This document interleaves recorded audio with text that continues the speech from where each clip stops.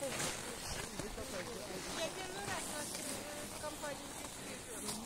По одному катаюсь вижу, а у вас компания.